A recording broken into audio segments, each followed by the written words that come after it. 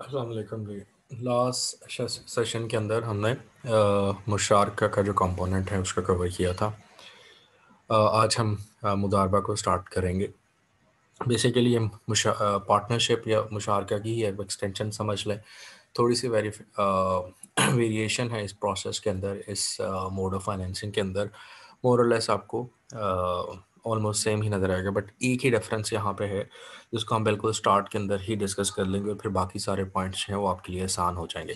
So basically what मुदारबा is kind of partnership. Remember musharka is also a partnership and mudarba is also a partnership. What is the difference actually? हम आगे जाकर detail में भी देखेंगे but यहाँ पे भी उसको एक्सप्लेन किया है कि one partner gives money remember explicitly mention कर दिया गया है कि यहाँ पे सिर्फ़ एक पार्टनर पैसा लेके आ रहा है।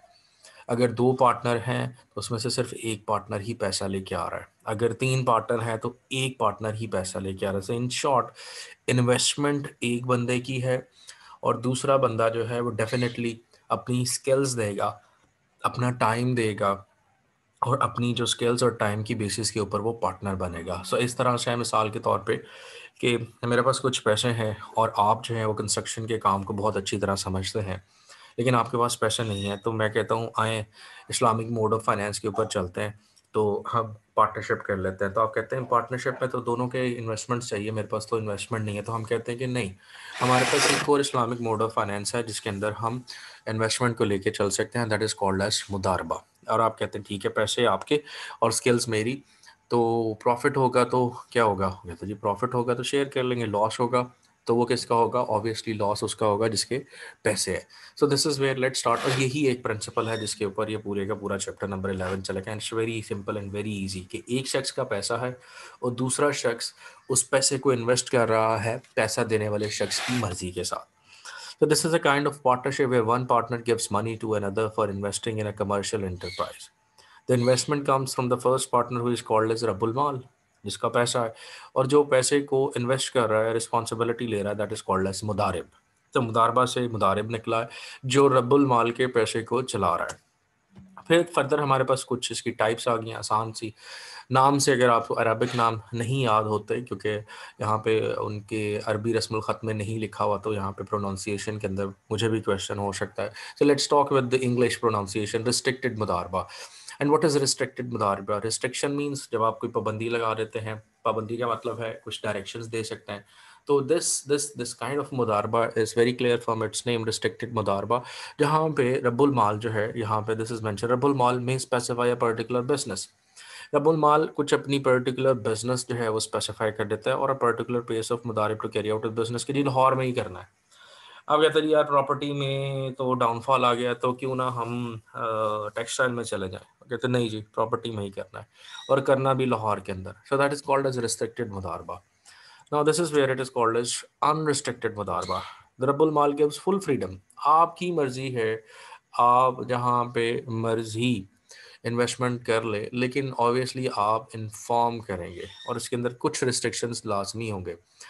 रिस्ट्रिक्शन क्या है? फॉर एग्जांपल यहाँ पे मेंशन है how मुदारिब can not without the consent of रबुल माल लैंड मनी टू एनीवन उधार नहीं दे सकते। उसके अलावा वो कुछ भी करने के लिए आज़ाद है which is normally done in the course of business यहाँ पे वर्ड यूज़ हुआ या एक लाइन यूज़ की गई है normally done in the course of business आम हालात के अंदर जो बिज़नेस में किया जाता है, मिसाल के तौर पे आप एक घर बनाने के लिए मुदारबा कर लेते हैं और मैं और आप मुदारब आप मुदारब हैं और मैं रबुल माल हूँ, मैं आपको पैसे दे के बिल्कुल साइड पे हो जाता हूँ। तो ऑब्वियसली घर बनाने के लिए लैंड परचेज करनी पड़ेगी, क्योंकि वो बिज़नेस का ऑर्डनरी कोर्स है नॉर्मल बिज़नेस की रिक्वायरमेंट है प्रॉपर्टी के, कि अगर आपने बिज़नेस करना है, अगर आपने बिज़नेस करना है प्रॉपर्टी में तो आपके पास अपनी लैंड होनी जो है वो ज़रूरी है। फिर उसके बाद आपने कंस्ट्रक्शन के लिए स्टाफ को हायर करना है। आपने कंस्ट्रक्शन के लिए मटेरियल परचेज करना है। तो ये ऑर्डनरी कोर्स ऑफ़ बिज़नेस है। हाँ अगर एक्स्ट्रा ऑर्डनरी काम है, मिसाल के तौर पे आप कहते हैं मैं पाँच पाँच मरले के घर बना के बेचूँगा। और आप कहते हैं, नहीं यार आप तीन तीन पे कर लेते हैं, तीन मरले की सेलिंग जो पॉइंट है, वो उसकी मार्केट ज़्यादा because it's it's less in price as compare to five marla so it is easy to sell actually house of three marla as compare to five marla because you will have more buyer for like three marla rather than for five marla so this is where ये एक extraordinary काम है। आप पाँच से तीन पे आना चाहते हैं तो ये पूछेंगे। लेकिन तीन मरले के अंदर कमरा कैसे बनाना है आ, उसकी डिज़ाइन कैसे होगी उसको आपने आ, कितनी प्राइस के ऊपर सेल करना है ये सारी चीज़ें ऑर्डनरी कोर्स में आते हैं तो आ, ये चीज़ें जो हैं वो फ्री है इस केस के अंदर। That is why it is called as unrestricted मुदारबा। Further रबुल माल के ऊपर भी कुछ terms and conditions hai. He cannot do so without express permission of Rabul Mal. He is not authorized to appoint any other मुदारिब or a partner. आप खुद से किसी और पार्टनर नहीं बना सकते मिक्स इज़ ऑन इन्वेस्टमेंट अब हम पैसा नहीं डाल सकते कंडीशन ही मुदारबा की ये है कि ए, आ, एक पैसा जो है वो एक शख्स का है और सर्विसेज़ जो है वो दूसरे शख्स की है नेक्स्ट आगे चलते हैं हम थोड़ा सा डिफरेंस है जो कि बहुत ज़रूरी है मुशारक और मुदारबा में समझने के लिए। इंपॉर्टेंट पॉइंट्स है जो मैंने ऑलरेडी उसको हाईलाइट कर दिया। मुशारका में सारे लोग पैसे डालते हैं, मुदारबा में सिर्फ़ एक है दोनों पार्टनरशिप्स यहाँ पे क्या है कि तमाम पार्टिसिपेट कर सकते हैं बिज़नेस के मामला में। यहाँ पे रबुल माल का कोई हक नहीं है बिज़नेस के मामला में, उसने सिर्फ़ पैसा देना है। पैसे को यूज़ जो है वो मुदारब ने करना है। यहाँ पे कहते हैं कि सारे के सारे पार्टनर्स जो है, वो लॉस में हिस्सा होता है और हम, हमें ये पता है कि लॉस में जो हिस्सा होता है, वो उसी रेशो में होता है, जिस रेशो के अंदर आपने कैपिटल में इन्वेस्टमेंट की होती है और प्रॉफिट की रेशो आप डिफरेंट कर सकते हैं। बट यहाँ पे क्योंकि पैसा ही एक पार्टी का है तो इस वजह से सारे का सारा लॉस भी रबुल माल ही बर्दाश्त करेगा। और डिफरेंस क्या है जी? As soon as the partner makes their capital वो जो प्रॉपर्टी होती है, जो एसेट होता है, वो सारे का सारा ज्वाइंटली ओन हो जाता है। यहाँ पे क्योंकि सारे का सारा पैसा ही रबुल माल के और उस पैसे की बुनियाद के ऊपर वो एसेट परचेज किया जा रहा है, वो बिज़नेस किया जा रहा है, मुदारिब अपनी सर्विसेज़ दे रहा है तो वो सारी की सारी चीज़ें रबुल माल की होंगी। यहाँ पे ज्वाइंटली ओन्ड होगी, यहाँ पे रबुल माल की ओन्ड होगी। और नेक्स्ट आगे चलते हैं जी इन्वेस्टमेंट के ऊपर बेसिक सिंपल कुछ गाइडलाइंस आप देख सकते हैं यहाँ पे अवेलेबल है। द रबुल माल should hand over to agreed investment to मुदारिब and leaves everything to मुदारिब no interference from his side but he में अभी हम पढ़ ले पढ़ चुके हैं कि भाई आपने पैसा देखिए साइड पे हो जाए। बट वो क्या कर सकता है? ओवर सीधा मुदारब एक्टिविटी चेक तो करे। फ्रॉड हो सकता है ना, कि वो शख्स पैसा लेके भाग जाए तो वो कहता है, जी, मैं ज़मीन खरीदने लगता हूँ। तो आप कहते हैं, जी, दिखाओ ज़रा ज़मीन के कागज़, वो जो आपने बयाना जमा कराया वो ज़रा उसकी कॉपी दे दो मुझे। अब तो लैंड परचेज कर लिया आप कहते रजिस्ट्री दिखा दो ज़रा। आप कहते हो, मैंने वो पाँच मरले का घर बनाना है तो तकरीबन मैंने डेढ़ लाख ईंटों का जो है वो ऑर्डर दे दिया हुआ है। तो आप कहते हैं, ठीक है, अच्छी बात है ज़रा, वो जिस भट्टे से मंगवाई हैं आपने, उसकी तरह पर्ची रसीद दे दो ज़रा, और रेट क्या है वो भी मैं चेक कर लेता हूँ। So basically it is not something questioning the you can say of मुदारिब it is basically overseeing कि पैसा आपका है तो आपको खुद भी उसका चेक एंड बैलेंस जो है वो रखना चाहिए। इवन आप रिमेंबर लॉ के अंदर एक टर्मिनोलॉजी होती है कि बायर बी वेयर वो जनरली सेल परचेज से होता है, जिसको हम मुश्तरी होशारबाश कहते हैं कि भाई खरीदने से पहले तसली कर लो।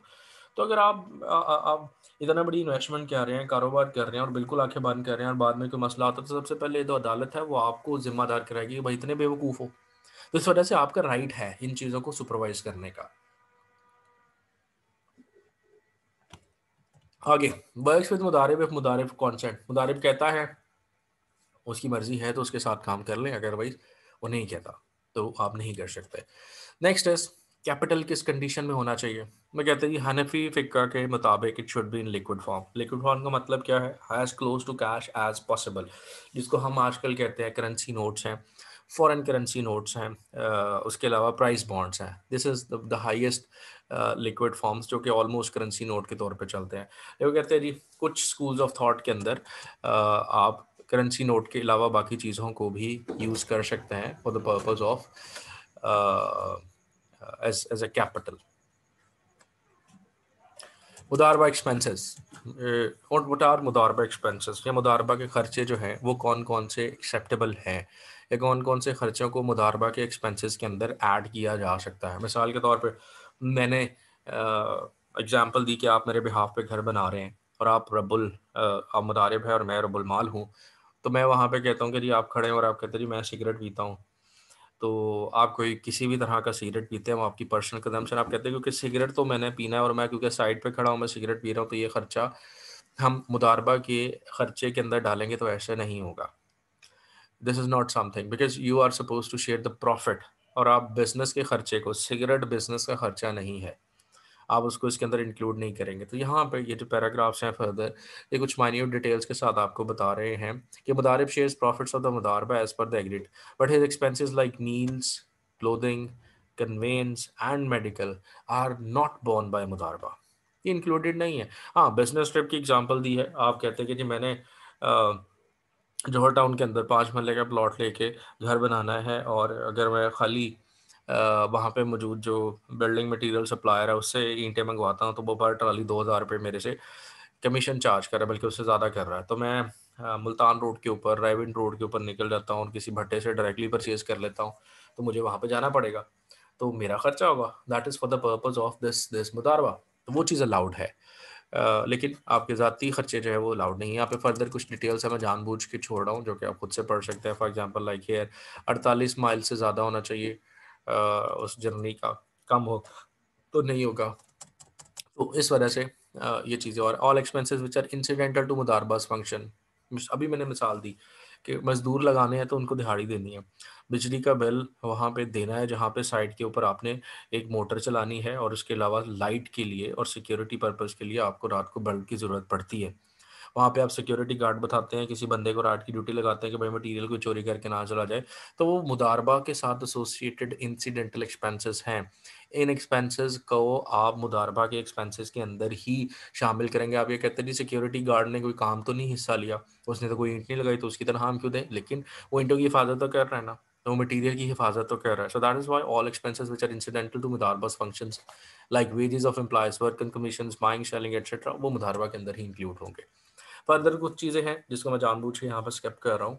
Very simple you can read it yourself distribution of profit and loss और इज़ वेरी सिंपल लॉस जिस सिर्फ़ और सिर्फ़ रबुल माल का होता है।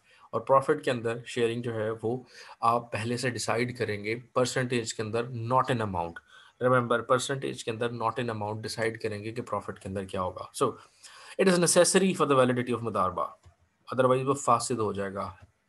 आपका वैलिड नहीं रहेगा अगर आप स्टार्ट करते हुए प्रॉफिट को डिसाइड नहीं करते, आप उसको करेंगे। और अगर आप नहीं कर पाए गलती से तो फिर फिफ्टी फिफ्टी के ऊपर आपको जाना पड़ेगा। फर्दर द मुदारिब एंड रबुल माल can not allocate a lump sum amount of profit अभी मैंने बात की कि मिसाल के तौर पे आप कहते हैं जी, हमने घर बनाया जोहटोर के अंदर कॉस्ट आई तकरीबन नब्बे लाख रुपए, पचानवे लाख रुपए। अब कहते हैं, ठीक है, इसको जितने मर्ज़ी का सेल करो, दस लाख रुपए मुदारिब का प्रॉफिट और दस के ऊपर इतना प्रॉफिट हुआ वो रबुल माल का हो गया। नहीं आप फिक्स नहीं कर सकते unless it is fix in percentage आप कहते हैं हाँ sixty forty forty forty this is something but not in amount lump sum amount के अंदर आप उसको फिक्स नहीं कर सकते। That is not allowed further examples कुछ यहाँ पे मेंशन है, आप उसको खुद से रीड कर सकते हैं। Apart from the agreed portion of the profit the मुदारिब can not claim any periodical salary remember वो मुलाजिम नहीं है, वो पार्टनर है।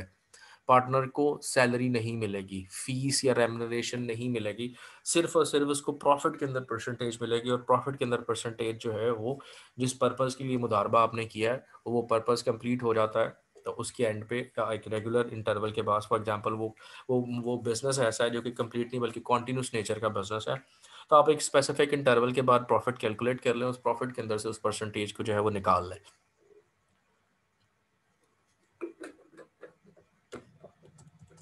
यहाँ पे इमाम अहमद की तरफ़ से एक डिफरेंस ऑफ़ ओपिनियन आया है। उस डिफरेंस ऑफ़ ओपिनियन को आप खुद से पढ़ेंगे। ये कुछ फर्दर एक्सटेंशन हैं, जो कि जानबूझ के मैं छोड़ रहा हूँ you can read it yourself आगे आ रहता है रोल्स ऑफ़ मुदारब। करता क्या मुदारब? यानी आप और मैं उसी एग्ज़ाम्पल को लेकर चलता है। मैंने आपको पैसे दिए, आपने कहा जॉर्ज टाउन में पाँच मरले का घर बना के बेच करेंगे, बेचेंगे। तो अब मैं आपसे क्या एक्सपेक्ट कर रहा हूँ? एज मुदारब, आप मेरे पैसे के साथ क्या करेंगे? या मेरे साथ आपका क्या रिलेशनशिप होना चाहिए? आप ट्रस्टी हैं मेरे बिहाफ पे। आपको सारी चीज़ों का ख्याल रखना है। आप मेरे एजेंट हैं, मेरे बिहाफ के ऊपर आप सारे के सारे फैसले जो है वो कर रहे हैं। आप मेरे पार्टनर भी हैं, क्योंकि आपने मेरे साथ प्रॉफिट शेयर करना है और आप मुझे लाइबल भी हैं, अगर आप जानबूझ के मुझे लॉस करवाते हैं, जो कि नेगलिजेंस की वजह से हो रहा है। और एक किस्म के आप मेरे मुलाजिम भी है, क्योंकि आपको मैंने एक ख़ास मकसद के लिए हायर किया हुआ टर्मिनेशन कैंसलेशन यहाँ पे रीज़न वही है। अगर आप कोई स्पेसिफिक पीरियड के लिए स्टार्ट करवाते हैं मुदारबा और वो मकसद कंप्लीट हो जाता है तो उसके बाद उस मुदारबा की कोई वैल्यू नहीं। घर बनाने के लिए डिसाइड हुआ, घर बन गया सेल हो गया प्रॉफिट डिस्ट्रीब्यूट हो गया, मुदारबा टर्मिनेट हो गया।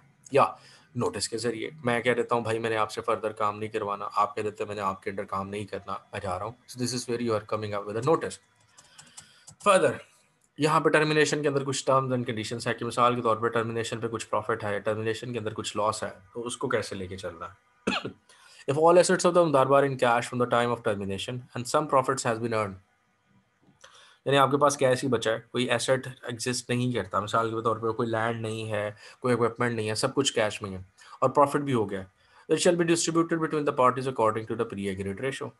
However, if assets of the mudarba are not in cash form, they will be sold. उनको बेचेंगे और उसको कैश में कन्वर्ट करेंगे और अगर कोई प्रॉफिट हो जाता है तो उसको आप ले लेंगे। अगर नहीं होता तो फिर लॉस जो है वो रबुल माल ही कवर करेगा। इसी तरह से यहाँ पे अगर लोन्स की बात की गई है अगर लोन्स हैं मुदारबा के ऊपर तो वो पहले पे किए जाएँगे और अगर कोई रिसीव करना है तो वो भी रिसीव किए जाएँगे। तो आपने किसी को लोन दिया और एंड के ऊपर कैलकुलेशन की जाएगी। Then uses sorry, this is the last paragraph. If no balance is left, then the mudare will not get anything. Profit नहीं होता तो किसी को कुछ भी नहीं मिलेगा। Because you are only sharing the profit. आप मुदारिब रबुल माल से ये नहीं कह सकता कि चलो प्रॉफिट नहीं हुआ तो आप, मैंने जो दो महीने काम किया तो उसके पैसे दे दो। No it was already decided that we are working on profit sharing basis इसके अलावा किसी और टर्म्स एंड कंडीशन पे हम काम नहीं कर रहे। उसके बाद क्या जी? इस इस इस प्रोजेक्ट को किस मकसद के लिए यूज़ किया जा सकता है? ये वो कह सकते हैं कि हमारी बिज़नेस रिक्वायरमेंट है, जिसके अंदर हम इस इस मुदारबा की टर्मिनोलॉजी को यूज़ कर सकते हैं अपनी रिक्वायरमेंट को पूरा करने के लिए। This is called as asset side financing where uh, जहाँ पे आप मुदारबा को यूज़ करते हुए कोई एसेट बना ले होंगे। और this is called liability side financing कि आपने किसी के पैसे देने हैं और उस पैसे को आप मुदारबा फाइनेंसिंग के थ्रू जो है वो स्पॉन्सर कर रहे हैं। So this is your chapter number 11 uh, related to uh, Mudarba, uh, which is going to cover the lectures of uh, on Friday and Saturday. If you have any question, I will be available by the class timings. आप मुझे पूछ सकते हैं और जो कोई भी आपका सवाल है और जो नेक्स्ट टॉपिक है डिमिनिशिंग मुशार का उसके ऊपर हम नेक्स्ट क्लास के अंदर डिस्कशन करेंगे। थोड़ा सा हिंट दे देता हूँ। डिमिशिंग का मतलब होता है कि आहिस्ता आहिस्ता जो चीज़ ख़त्म हो जाती है। और मुशारका हमने अभी देखा पीछे पार्टनरशिप टाइप तो ऐसी पार्टनरशिप जो कि आहिस्ता आहिस्ता ख़त्म हो जाती है। और इसके लिए मैं आपको पहले भी बता चुका हूँ। एग्ज़ाम्पल दी है मैंने कि मुझे घर चाहिए तो मैं पार्टनरशिप पे बैंक के साथ पार्टनरशिप करके घर ले लेता हूँ। और आस्ता आस्ता बैंक का हिस्सा बैंक को वापस करता रहता हूँ। और एक वक्त ऐसा आएगा कि सारा के सारा बैंक का हिस्सा मैं वापस कर चुका हूँ तो वो मुशार का जो पार्टनरशिप है वो डिमिनिशेड होगी। और एंड पे वो एसेट जिसके लिए हासिल करने के लिए मैंने पार्टनरशिप की थी, वो पार्टनरशिप ही ख़त्म होकर मैं उसका अकेला मालिक बन जाऊँगा। तो बहरहाल, इसको हम नेक्स्ट क्लास के अंदर डिस्कस करेंगे। अब तक कोई आपका सवाल है तो आप मुझे पूछ सकते हैं।